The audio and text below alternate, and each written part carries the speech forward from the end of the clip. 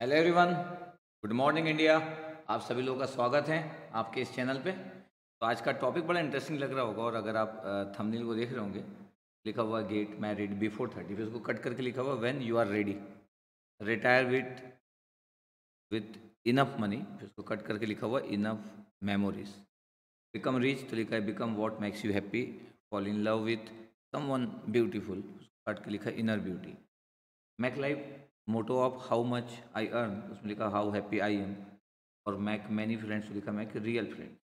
और happiness lies in big moments लिखा है स्मॉल मोमेंट। ठीक। है देखने सुनने में सब तो ये सब ठीक लगता है लेकिन फिर भी इसकी मीनिंग को समझना ज़रूरी है। आ, बहुत बार आ, आ, पहला वाला जो पॉइंट्स है वो सिंगल लोग समझ नहीं पाएँगे। मैरिड पर्सन इस पॉइंट को समझ सकता है बड़ा आसान नहीं है पहला वाला पॉइंट थोड़ा डिफरेंट है गेट मैरिड बिफोर थर्टी। तो वो है कि वैन यू आर रेडी तो मेंटली स्टेबल होना बहुत ही इंपॉर्टेंट है। मतलब मैरिज जो है वो इन्जॉयमेंट नहीं है हमारा रिस्पॉन्सिबिलिटी है। मैरिज को लगता है कई लोगों को कि अरे मस्त इन्जॉयमेंट आप समझ रहे होंगे मैं जो बोलना चाह रहा हूँ। तो एक्चुअली एक बिग रिस्पॉन्सिबिलिटी के साथ लाइफ स्टार्ट होती है। और वो लाइफ अलग होती है, जब बैचलर लाइफ से आप बाहर निकलते हो। बड़ी डिफरेंट लाइफ होती तो आप तो जितने एस्पिरेंट हो भी, समझोगे, धीरे से समझोगे। जब आपको रेडी होना चाहिए मेंटली कई लोग सोचते कि मैं रिच पर्सन बन जाऊँगा थोड़ा सा मनी अर्न कर लूँगा, तभी मैं रिच करूँगा। नहीं, आपको ये देखना चाहिए कि आप हैंडल कितना कर सकते हो। आप अपने आप को मेंटेन कितने में कर सकते हो, किस तरीके से सामने वाले को भी हैप्पी रख सकते हो। मेंटली आप हैप्पी हो ना, क्योंकि अगर आप हैप्पी नहीं रखोगे तो आप दूसरे को भी हैप्पी कैसे रखोगे? तो ये बड़ा इंपॉर्टेंट पॉइंट है। सेकेंड वाला बड़ा अच्छा है कि रिटायर विथ इनफ मेमोरीज तो रिटायरमेंट के बाद आपके पास जो मेमोरीज होती है, आप देखे होंगे एम को कभी देखे होंगे तो वो जीतने के बाद स्टम्प वगैरह वो लेते हुए रख लेता है वो और वो पूरी मेमोरीज में रहती है तो स्टम्प वगैरह को आप कई बार देखे होंगे, पढ़े होंगे या देखे भी होंगे। तो सबकी अलग अलग होती है, मेरी मेमोरीज से होती है कि मैं जो बोर्ड में जो लिखता हूँ, जो भी मेरे को लगता है कि फिगर बहुत अच्छी है, उसकी मैं फ़ोटो वगैरह ले लेता हूँ। मेरे को लगता है कि ये सब मेमोरीज मेरे बहुत काम की होगी, क्योंकि हो सकता है एक समय के बाद मैं पढ़ा पढ़ा ना पाऊँ। तो फिर मैं ये सबको बहुत मिस करूँगा, जिन चीज़ों को मैं इन्जॉय करता हूँ, जिन चीज़ों को लिखना इन्जॉय करता हूँ वाइट बोर्ड को इन्जॉय करता हूँ। टेक्नोलॉजी बाई दुनिया एकदम डे बाई डे चेंज होती जा रही है तो अभी भी मैं अपनी पुरानी चीज़ों को मिस करता पुरानी चीज़ों को ही मतलब कैरी करता हूँ मतलब वाइट बोर्ड पे हूँ अभी तक डिजिटल बोर्ड में पूरे गेट गेट में आ गया है बट मैं नहीं हूँ अभी तक। देखते हैं कि कब तक मैं आता हूँ तो मैं मेमोरीज इन्जॉय करता हूँ। Become what makes you happy yes ठीक है रिच बनना इज़ आपका ड्रीम हो सकता है बट ये आपको पता होना चाहिए कि आप क्या होना चाहते हो। जो आपको हैप्पी करे ये बहुत ही इंपॉर्टेंट है कि आप चाहते क्या हो। तो हैप्पीनेस वाला जो पार्ट होता है वो एक मेंटल स्टेटस है एक्चुअली हैप्पीनेस इज़ एक मेंटल स्टेटस और मेंटल स्टेटस अगर ठीक नहीं है तो आप हैप्पी नहीं रह पाओगे। आपके पास क्या है मैटर नहीं करता। Mental status is very important next आपके पास है कि fall in love with someone beautiful इस वाले पॉइंट्स को uh, लोग एग्री करेंगे बट बट कोई मानने को रेडी नहीं होगा। एग्री करना इज़ डिफरेंट बट कोई मानने को रेडी नहीं होगा। हर एक बॉय चाहता है कि इससे वो मैरिज करे बड़ी ब्यूटीफुल हो। आ, उसकी गर्लफ्रेंड एकदम लोग देखे कि क्या इसकी गर्लफ्रेंड है। या गर्ल लोग चाहती कि जो हस्बैंड हो या बॉयफ्रेंड हो बड़ा हैंडसम हो बट बड़ा जल्दी ब्रेकअप भी हो जाता है। दो हैंडसम लोगों के बीच में जब चीज़ें कनेक्ट होती है। सबके साथ नहीं होता है लेकिन फिर भी सेवेंटी परसेंट एटी परसेंट में कई बार ऐसा हो जाता है। तो डिपेंड करता है कि आपको अंडरस्टैंड करने वाला लोग चाहिए सामने जो लोग है वो आपको अंडरस्टैंड करना चाहिए। जो इंडिविजुअल जो आपके साथ में बॉयफ्रेंड हो गर्लफ्रेंड वो आपको अंडरस्टैंड नहीं करती है। आपके किसी दूसरे रीजन के साथ आप आपके कारण कोई जुड़ा है जुड़ी है तो वो सस्टेन नहीं करती चीज़ें। कितने ही दिन सस्टेन करेगी है? कितने ही दिन सस्टेन करेगी। तो अंडरस्टैंडिंग वाला पार्ट बहुत ही इंपॉर्टेंट होता है। मतलब समझना आ, आ, आसान नहीं है इस पॉइंट को। इसलिए इस पॉइंट को अगर मैं बोल भी रहा हूँ तो बहुत ही कम लोग एग्री करेंगे।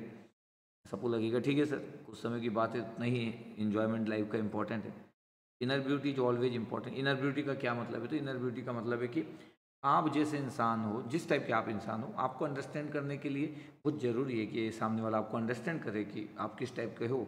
या आप अंडरस्टैंड करो कि सामने वाला किस टाइप का दो लोग एक दूसरे को थोड़ा बहुत भी हंड्रेड परसेंट तो अंडरस्टैंड करना टफ है। लेकिन थोड़ा बहुत भी अंडरस्टैंड करते हो ना तो चीज़ें बैलेंस में चलते रहती बैलेंस में। अगर अंडरस्टैंडिंग अगर बहुत कम है, फिर आप कोई भी हो ये चीज़ें नहीं चल पाती हैं, ठीक है? Make life motto of how happy I am ये ये भी आसान नहीं है कि लोग लाइफ का मोटो ये नहीं बनाना चाहते, लोग यही बनाना चाहते कि मैं कितना अर्न करता हूँ, उसमें प्रॉब्लम नहीं है, लेकिन आप अगर वर्क के साथ, अगर आप इन्जॉय करते हो, आप हैप्पी हो वर्क के साथ, उसके बाद आप अर्न भी करते हो तो इट्स गुड इसमें क्या प्रॉब्लम इसमें कोई प्रॉब्लम नहीं है, लेकिन आपको लगता है कि आप वर्क को इन्जॉय ही नहीं करना चाहते, आप चाहते हो कि पैसा कैसे आए मतलब क्या ऐसा तरीका हो तो नॉर्मली जितने भी दुनिया में लोग रिच पर्सन या सक्सेसफुल लोग हैं, उसमें से मैक्सिमम लोग, आपको लगता होगा कि कोई इंडस्ट्री चलाता है तो वो सुबह सात बजे या छः बजे वहाँ पहुँच जाता है, पूरा वर्किंग देता है, वो अपने वर्क को इन्जॉय करता है, काम करता है, अपनी चीज़ों को देखता है, अगली विजन रखता है तो उसका इन्वॉल्वमेंट उस तरीके से अगर इन्वॉल्वमेंट उस तरीके से रहेगा तो रिज़ल्ट भी वैसा होगा। लेकिन आप अपने वर्क को इन्जॉय नहीं करते हो, अपने वर्क में आपका इन्वॉल्वमेंट नहीं आप फोकस पर्सन नहीं हो, और आप सोचते हो हर बार कि मैं कितना अर्न करूँगा मनी तो गुड बात नहीं है। और मैक मैनी फ्रेंड्स ये तो एकदम सही है। यंग एज में बहुत सारे मैनी फ्रेंड्स वाला पार्ट बहुत ज़्यादा होता है कि बहुत सारे लोग के बहुत, एक व्यक्ति सोचता है कि मेरे ज़्यादा फ्रेंड मतलब मैं मैं मतलब बड़ा गुड मतलब गुड मतलब क्या? स्टार्टअप क्या स्टार्टअप होता है? मतलब यह केस का क्या स्टार्टअप आपके ज़्यादा फ्रेंड है तो आप आप ज़्यादा पार्टी तो ज़्यादा फ्रेंड बन जाएँगे, कितना ही टाइम लगता है। आपके रियल फ्रेंड्स होना चाहिए। जब आप प्रॉब्लम में होते हैं तो लोग प्रॉब्लम में सब भाग जाएँगे। पीछे मुड़ के देखोगे कोई नहीं दिखेगा। तो आपके जो फ्रेंड्स होना चाहिए, बड़े रियल होना चाहिए। और तीन हो, चार हो, दो हो, बहुत जल्दी लोग चेंज होते जाते हैं। लोग कई बार हमको लगता है कि रियल फ्रेंड है, लेकिन वो टाइम के अकॉर्डिंग रियल फ्रेंड होते हैं। मतलब ये दुनिया में इस बात पे बेस्ड होता है कि आप उसके लिए कितने इंपॉर्टेंट है। आप क्या रोल प्ले करते हो उसके लिए, उसके अकॉर्डिंग वो आपके रियल फ्रेंड बनते हैं। कोई बिहेवियर वाइज बहुत रियल फ्रेंड होता है, आज की आज की डेट में टफ होते जाता है तो आपका जजमेंट वाला पार्ट बहुत ही इंपॉर्टेंट होना चाहिए। मतलब फ्रेंडशिप वाला पार्ट इंडिपेंडेंट होना चाहिए। अगर वो अगर वो इस बात पे बेस्ड है कि उसको आपसे क्या फ़ायदा और आपको इससे क्या फ़ायदा तो तो प्रोफेशनल डील हो गई ना। तो प्रोफेशनल डील और फ्रेंडशिप में डिफरेंस होता है। तो professional deal is a different और प्रोफेशनल डील में भी लोग बैठते हैं पार्टी करते हैं साथ में इट्स गो के उसमें क्या प्रॉब्लम है?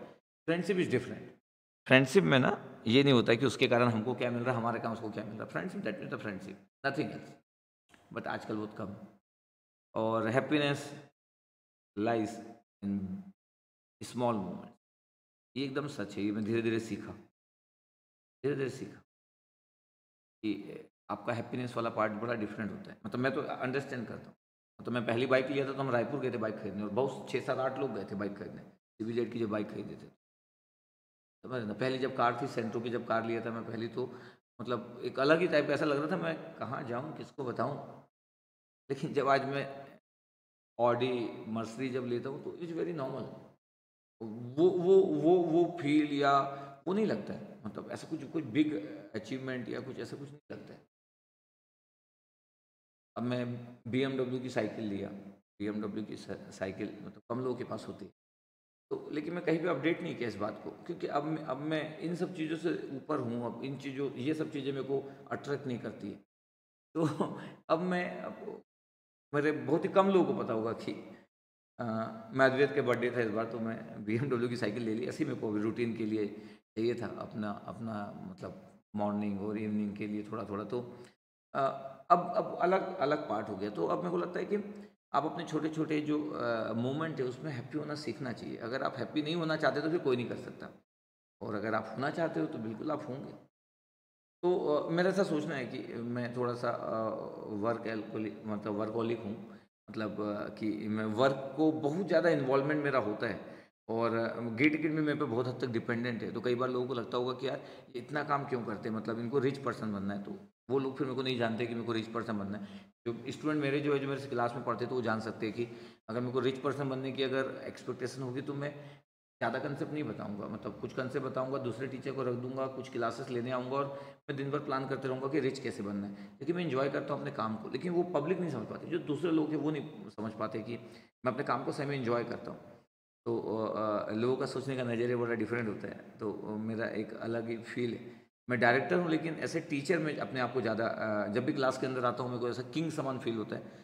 और मेरे को लगता है कि ओरिजिनलिटी जो मेरी है, वो यही है। अब मेरा इन्वॉल्वमेंट बहुत ज़्यादा है, इसलिए मेरी मैं इमोशनल डिफरेंट टाइप का हूँ, लेकिन मेरे को कई बार लगता है कि मेरी जो फीलिंग है, वो कई बार हो सकता है कि नॉर्मल लोगों के समान फीलिंग नहीं रहती हो, क्योंकि मैं इतना बिज़ी हूँ कि मेरे में अलग टाइप के थॉट नहीं आ पाते क्योंकि मैं पूरे देर ही प्लान करते रहता हूँ और गेट अकेडमी के लोगों की लाइफ या इन जनरली इसको एक बड़ा सा ब्रांड बनाना है तो ये मेरे को एक अच्छा फील देता है और बहुत सारे लोगों की लाइफ जुड़ी हुई है तो इसलिए भी मेरा इन्वॉल्वमेंट ज़्यादा है।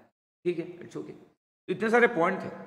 इतने सारे पॉइंट थे और ये सब चीज़ें ना, आपको रियल लाइफ में सीखना चाहिए धीरे day by day day by day day by day आपको आपको रियल लाइफ में सीखना चाहिए। हम सीख नहीं पाते कई बार। हम जानते हुए भी नहीं सीख पाते। अभी में से बहुत सारे लोग मेरे को मैसेज करते हैं, आजकल तो मैसेज का मतलब मेरे को टेलीग्राम में भी इंडिविजुअल मैसेज करते रहते हैं। मैं ट्राई करते रहता हूँ कि लोगों की प्रॉब्लम का सॉल्यूशन दे सकूँ। ऐसा कोई, मैं कोई, ऐसा कोई पर्सन नहीं हूँ जिसके पास हर चीज़ का सॉल्यूशन है।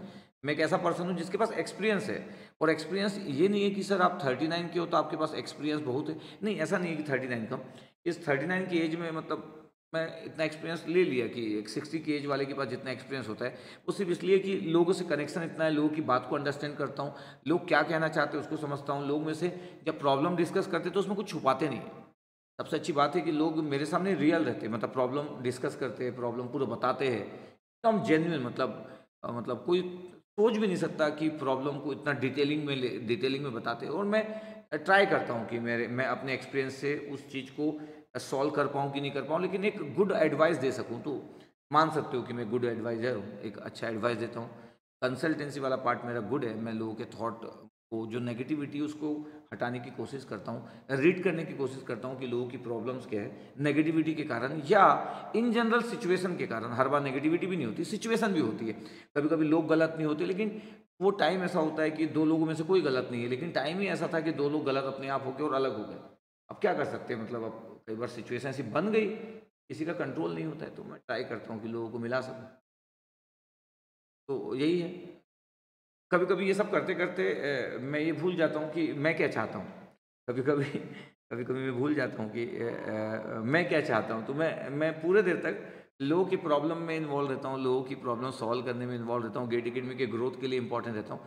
कभी कभी मेरा हैप्पीनेस क्या है? तो फिर मेरे को समझ आता है कि मैं अपनी क्लास में जब पहुँचता हूँ तो एक अलग टाइप की हैप्पीनेस गेट अकेडमी को जब अलग ब्रांड बनाता हूँ गेट अकेडमी के लिए प्लान करता हूँ तो मैं हैप्पी हो जाता हूँ it's okay it's all about तो ठीक है लाइफ इज़ गोइंग लाइफ चलती रहेगी लाइफ तो रुकने वाली नहीं, मेरे रहने या मेरे ना रहने से लाइफ तो रुकेगी नहीं, और किसी की भी रहने ना रहने से लाइफ रुकती नहीं.